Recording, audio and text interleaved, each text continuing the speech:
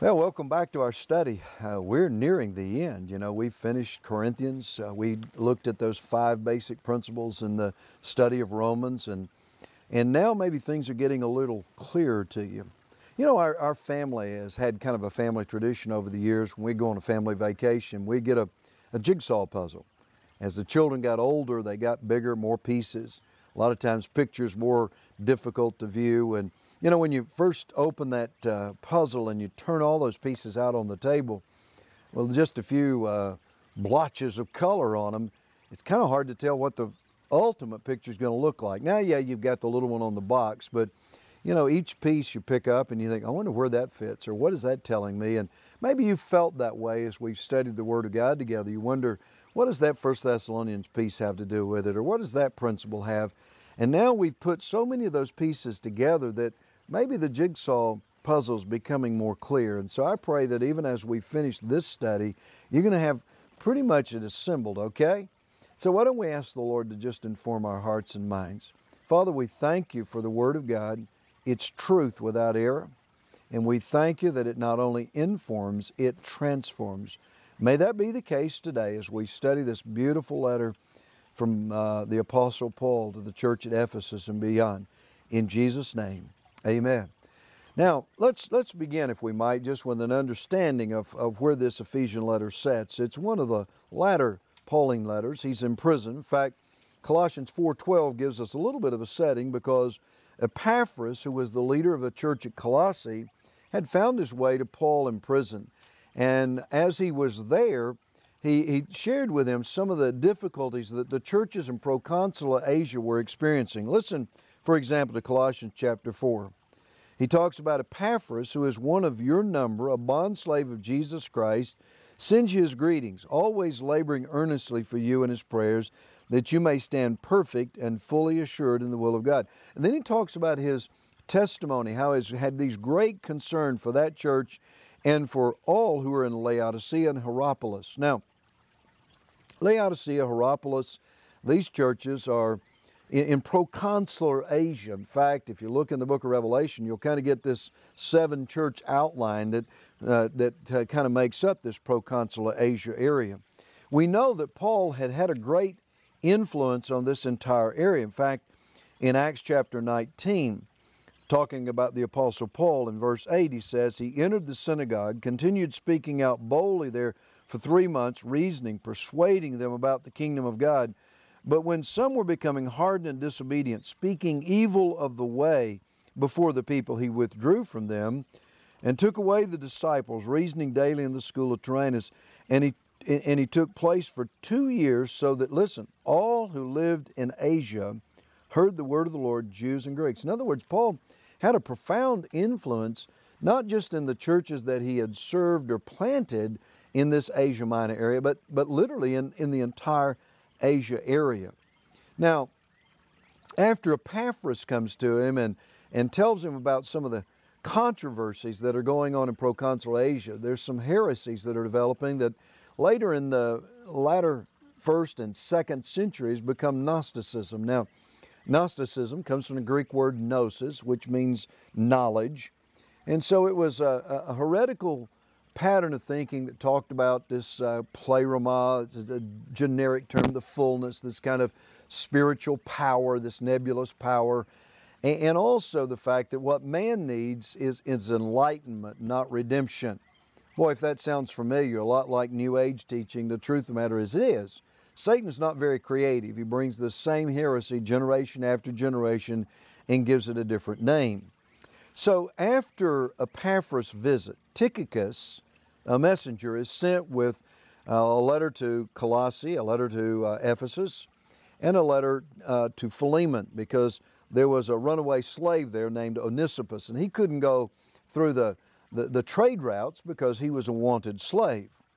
Now, the antidote to the heresy in Colossians 1, he takes this word pleroma, and he said, uh, if you want to experience the pleroma, he said, you must know Christ. Listen to Colossians 1.19. It was the Father's good pleasure for all the pleroma, all the fullness to dwell in Him, and through Him to reconcile everything to Himself, having made peace by the blood of the cross. In other words, Paul says, listen, if you want an antidote for the heresy, look to Jesus. If you want to know the fullness, look to Jesus. It's the cross of Christ, the redemption of God. Now, in the Ephesian letter, Paul takes us a step further. Now, we can readily understand, and probably all of us would agree today, that, that Jesus, when he was on planet Earth, was the full expression of God. Uh, you agree? Well, now, Paul says that today the church is empowered to be that full expression. In fact, listen to Ephesians 1 and verse 23. It's at the end of a prayer where Paul talks about the power available to us. And he talks about what happened in the resurrection, the crucifixion, and exaltation of the Lord. In fact, in the Ephesian letter, Paul looks at Christ seated on the right hand of the Father. And so he says in verse 22 He put everything, all things, in subjection under his feet, and gave him his head over all things to the church, which is his body, the fullness. There it is, the pleroma of him who fills all in all. Now, this letter is so critical for us to understand not only our spiritual gifts, but the empowering of the church today.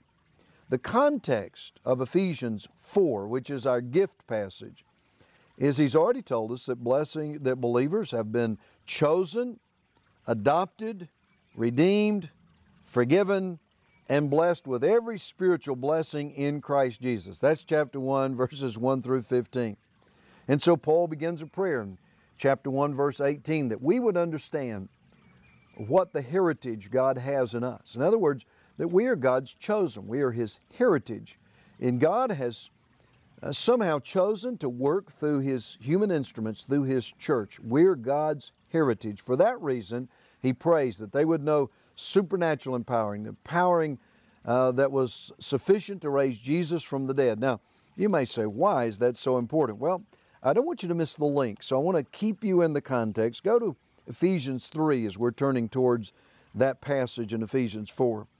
Paul talks about his apostolic authority and his call to preach to the Gentiles. So in verse 8 of chapter 3, he says, To me, the very least of all the saints, grace was given. Told you, Paul often attached his ministry to what? Grace. There it is, charis, charismata.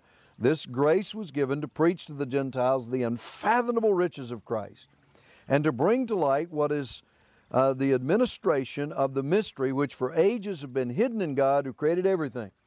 Now, I don't know about you, but I love a good mystery. I, I pick up mystery novels when I travel and I read them on airplanes. My wife and I record Masterpiece Theater and we watch Sherlock Holmes together and I like a good whodunit. Well, now if you like a mystery, here's one that has been hidden in God, the creator of everything. So here it is, verse 9 and 10, uh, or verse 10 and 11. You may want to underline it in your Bible. So that the manifold wisdom of God might now be made known through the church to the rulers and the authorities in the heavenly places. This was in accordance with the eternal purpose which He carried out in Christ Jesus our Lord. Wow. Did you hear that? What God carried out, accomplished in Jesus Christ, His ministry on planet Earth, was accomplished for the church, so that the church in this generation might express the manifold wisdom of God. Now, does your church do that? Don't you want it to? There's too much at stake for us not to do this. Now, you might ask the question how does this happen? How, how does the church come to the place that it can express the manifold wisdom of God? Now, the answer actually is pretty simple, and it involves you. The church is empowered to express God's fullness as individual members discover their gifts and employ them in building up the body in love. Can I say it this way? You are God's love gift to His bride, the church. Wow. Have you ever thought of that? I'm talking about you. I'm talking about you as a gifted member of this body or a love gift from the Father, the exalted Lord to His bride. And that's how, when, when all the members function together, we've got the potential of, dis, of displaying this pleroma, this fullness of God. So let's go over to our passage in Ephesians 4. I just couldn't let you go to that passage without getting the context. Therefore, I, the prisoner of the Lord, implore you to walk in a manner worthy of the calling with which you've been called. How many times have we seen this principle that every time Paul talks about the gifts, he starts talking about the community and our worthy walk in the community. He put them in that context in 1 Corinthians 13. He did so in Romans 12, 9 through 21. In other words, the context of ethical relationships in the community is vital. And so he begins by talking about walking in a manner worthy of the calling with all humility, verse 2, gentleness, patience, showing tolerance for one another in love. Doesn't that sound a lot like fruit of the Spirit? Doesn't it sound a lot like 1 Corinthians 13, Romans 12, 9 through 21? Of course it does. Paul is saying these essential character traits of the Christian community are essential for the unity of the body, and the unity of the body is the platform on which spiritual gifts function properly. Verse 3 being diligent to preserve the unity of the Spirit in the bond of peace. Now, he's going to give you a bond, he's going to give you a sense of unity. Listen, there is one body, one Spirit, just as you were called, in one hope of your calling, one Lord, one faith, one baptism, one God and Father of all, who is over all and through all and in all. Now, that sevenfold unity displaces any disunity that might exist in your church. There might be disunity sometimes between generations, between uh, male and female, between, uh, you know, uh, uh, black or white or Hispanic, but I don't care what differences exist, there are more things that unite us than divide us.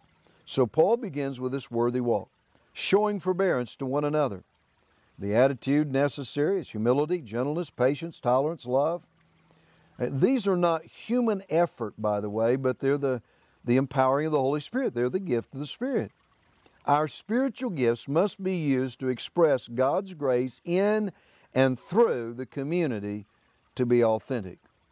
You see, unity is the work of the Spirit. And so Paul uh, elaborates on seven great truths that link us to one another. There may be a lot of things that could divide us, but listen to this. Here's what unites us one body, he's talking about the church, one Spirit, the Holy Spirit. Just as we all were called in one hope of our calling. In other words, uh, the ground's pretty level at the foot of the cross, isn't it? We were all called in one hope of our calling, one Lord, one faith, one baptism, one God and Father who's over all, through all, in and all. But now Paul moves but to each one. So he establishes unity. Then in verse 7, he goes to diversity, and he also goes to the individuality of believers. But to each one of us, grace was given according to the measure of Christ's gift. Now, we really don't have the word charismata in this passage, but we're still talking about grace gifts. He uses the word domata with grace, and this time he links it to the exalted Christ. He uses a quote from Psalm 68 18. Therefore, it says, When he ascended on high, he led captive a host of captives, and he gave gifts to men. Now, this expression, he ascended, what does it mean except that he had also descended to the lower parts of the earth? He who descended is himself also he who ascended far above all the heavens that he might fill all things. Now, the fluidity of Paul's language about gifts, by the way, should warn us about labeling one another. I hear sometimes churches say, well, that church is this kind of church, a charismatic or a neo Pentecostal. We ought to be careful about those kind of labels. Paul is very fluid about the way he uses the language of gifts. But I want you to notice in this passage that the spiritual gifts are uniquely related to the triumphant king. Now, why do you think that's the case? He talks about he who descended and ascended are one and the same. And he focuses on the ascension of the Lord. He's on the right hand of the Father now. Now, do you remember the emphasis that prompted the writing of this letter? You see, Colossians and Ephesians were written as companion letters. Uh, I think Colossians went to the church at Colossae. Uh, Ephesus started its place in Ephesus, but was probably shared with all those churches, the seven churches in the book of Revelation. The Colossian letter perhaps being shared with them. These two letters complementary, talking about some of the same principles. And so in, in the Colossian letter, you remember that he emphasized the exalted Christ as the pleroma of God. So here, he again underlines this truth to combat this heresy. You see, if Jesus is no more than another mystery religion, uh, then the church or, or mystery leader, uh, no more than one of the other uh, pretend gods of that day, then the church is no more than a mystery religion. Can I say that again? You see, if Jesus is not unique, if he is not the only means of redemption, if he's not the only way to God, then the church is little more than a divine country club. But Paul is saying Christ indeed is the fullness of God, and the church is more than any other organization you'll belong to. It is the body of Christ. Do you, do you hear that? Do you understand that? Don't forget it. Now, how does the exalted Christ express his fullness in the world today? I'm going to underline it again. I've said it once, but you may not have heard it. He gives gifts to men and women, and in turn, He gives those gifted people to the church. Let me underline it. He gives gifts, I'm talking about spiritual gifts and abilities, to men and women, and in turn, He gives those people as His gift to the church. Now, verses 9 and 10 are important. Christ, who descended, has now ascended. He's exalted above all powers, including death and the grave, and He's pouring out His gifts on the church. You know what that means? We cannot afford to play church. You know, I see uh, too many people that seem to be kind of going through the motions as if church is kind of a church game. Boy, that's too much at stake for that. Jesus died for the church, He was raised for the church. He sent His Holy Spirit to infill the church. And He's coming again someday in glory to receive the church. So we cannot be uh, casual or apathetic about our involvement in the life of the church. Well, let's talk about how we're going to do this, and you're going to find some important principles here. So it uh, begins in verse 11. And he gave some as apostles, and some as prophets, and some as evangelists, and some as pastors and teachers, for the equipping of the saints for the work of service to the building up of the body of Christ. Now, you may have noticed that in this gift list there in 411, he only emphasizes leadership and teaching gifts. Now, why, why do you think that's the case? Well, the truth is the heresy in this area necessitated an emphasis on doctrinal stability. Uh, we will also notice that He's going to underline this when gifts function properly, doctrinal stability will be established. Now, what does that tell us again? It tells us that no list is intended to be comprehensive. Each list is tailored to the needs of the moment, and so we get some new gifts here again. Evangelist, pastor, teacher are new gifts. You know what I'm convinced? Had Paul written on this subject several more times, he may have felt at liberty to add even more gifts. The point is, God uniquely gifts His church in every generation. Now, you know what that means?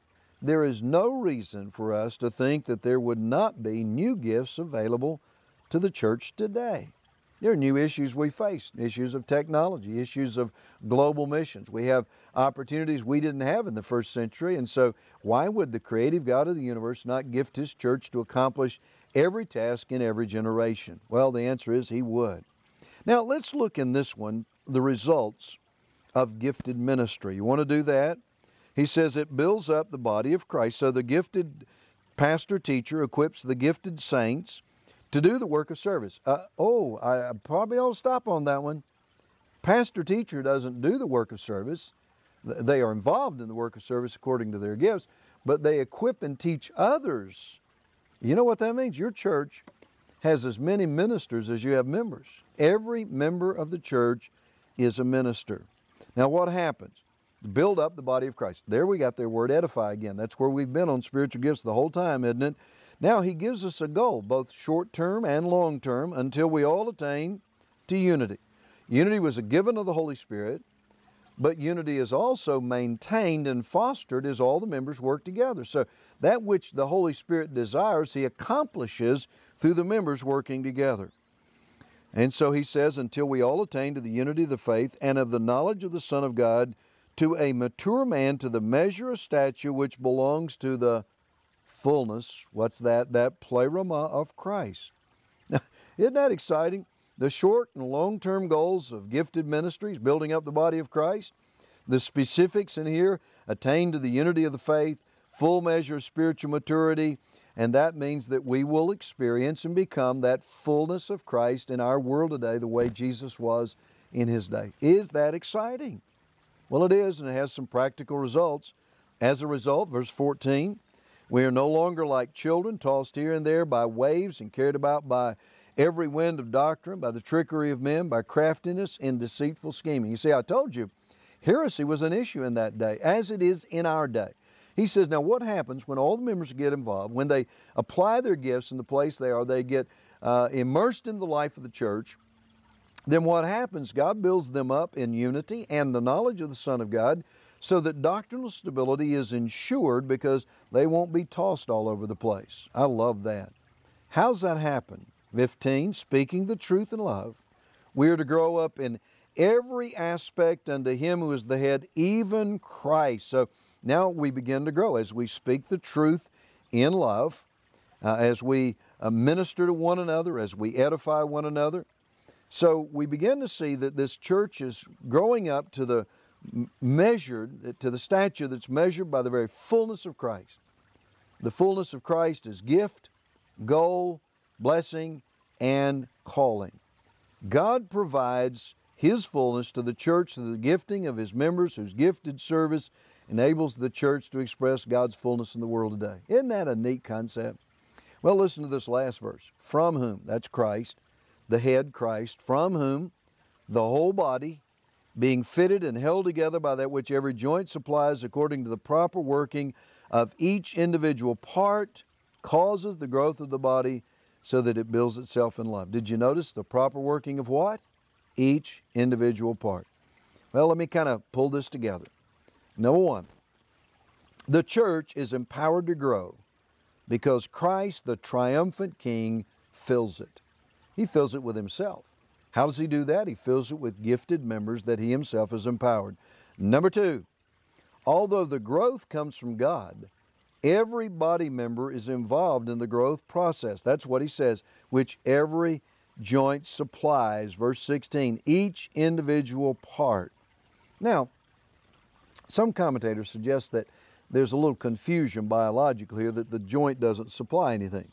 It's not what the text says. So the head supplies the energy. The joint applies the energy. Now, I, I don't know if you know much about a, a, lever and a fulcrum, but, but it's the same image there. Now, the, the muscle of my arm may, may move it, but it's conveyed through that, uh, that joint, isn't it? If that joint, what happens if you get a tennis elbow or a pitcher throws his shoulder out and, and that joint is, is, is out of joint, then the muscle can't supply or move the energy where it's necessary. Now, listen to this one. The muscle power of ministry on planet Earth is the Holy Spirit. But the gifted member is the joint by which the power of the Holy Spirit is focused and applied to earthly tasks. Can I say that again? The muscle power for ministry is the Holy Spirit. But how does the Holy Spirit work on planet Earth? You know, we pray, say, Come, Holy Spirit. We sing about that. We ask the Holy Spirit to accomplish things in our life and in our church. How does the Holy Spirit accomplish things in the world today? The answer is you. You are the part through whom the Spirit of God works, and, and you are literally that joint or that lever through which His ministry and power are applied. Thirdly, the unity of the Spirit is necessary for diversely gifted members to work together for the common goal. Finally, the proper implementation of the gifts must take place in the context of love. How many times have we said that? How many times has Paul said it? You see, if there's not unity in the body, if there's not love for one another, how do these gifts function? Well, I'm going to tell you, we're right now at the place where you've got all the all the foundation, all the Bible studies behind you. These are the major passages on spiritual gifts. So, in the next couple of weeks, we're going to look about why we need to discover them and how we can discover them. Would you pray to that end? Would you study to that end? In just a moment, you're going to start filling in some blanks and get some more of this and, and, and apply these things. So, let me pray for you and for your small group leader. Father, thank you that uh, these students have been so diligent to uh, study your word.